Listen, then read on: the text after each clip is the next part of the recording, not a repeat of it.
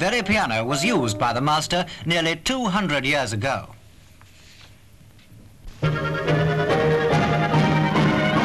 If you were a German river policeman, these extraordinary craft would soon be part of your standard life-saving equipment. Yes, dangerous as they look, these inflatable outboards are intended to save lives. They blow them up and race like a mad thing to rescue the drowning man. And if they don't drown on the way, it's a tribute to the stability of this seemingly jet-propelled pneumatic mattress. Another boat designed to take the rough with the smooth is the kayak. At least it will if you know how to handle it. Of course, the whole idea is to keep the river underneath you. Should the situation be reversed, just hope that normal surface will be resumed as soon as possible. These intrepid paddlemen are wrestling with the Isar River near Munich in the Bavarian Slalom Championships.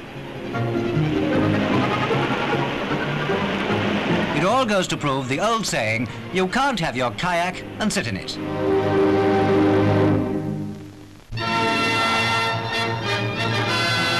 Tokyo